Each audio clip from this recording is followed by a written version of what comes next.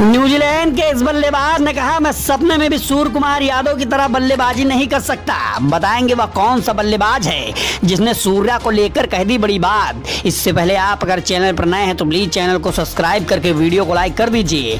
आपकी जानकारी के लिए बता दें कि भारत और न्यूजीलैंड का पहला टी मैच बारिश की वजह से रद्द हो गया था।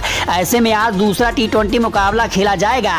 मैच से पहले न्यूजीलैंड के बल्लेबाज ग्लेन ने सूर्या की तारीफ़ करते हुए कहा कि वह सपने में भी सूर्या की तरह शॉट नहीं खेल सकते। आपको बता दें कि सूर्या टी ट्वेंटी रैंकिंग में दुनिया के टॉप बल्लेबाजों में से एक हैं। फिलिप्स ने कहा कि जब सूर्या मैदान पर बैटिंग करेंगे तो उनको रोकना हमारी टीम के लिए इतना आसान नहीं होगा।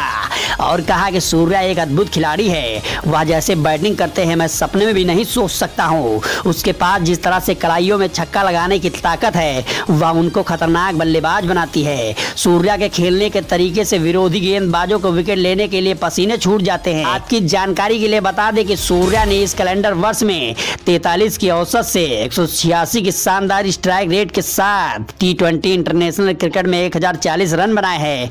वह इस साल में दुनिया के टॉप रन स्कोरर हैं। सूर्या भारत की तरफ़ से टी इंटरनेशनल क्रिकेट में एक कैलेंडर वर्ष में एक हज़ार रन बनाने वाले पहले बल्लेबाज बन गए हैं। अगर आप भी सूर्य कुमार यादव को अच्छा प्लेयर मानते हैं और दिल से सपोर्ट करते हैं तो इस चैनल को सब्सक्राइब करके वीडियो को लाइक करना ना भूले। मिलते हैं किसी नई वीडियो में, तब तक के लिए जय हिंद।